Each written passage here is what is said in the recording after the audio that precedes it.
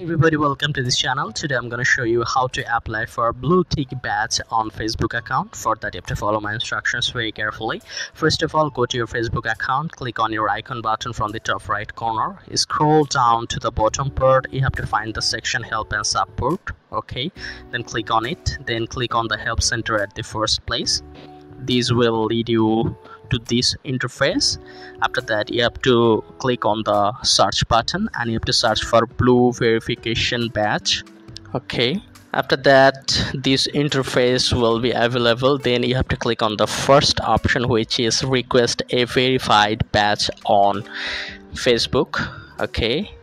Then you can see that there is an article you have to scroll and you have to find or verify your profile or page. And under this section you can see it is written as a blue mark.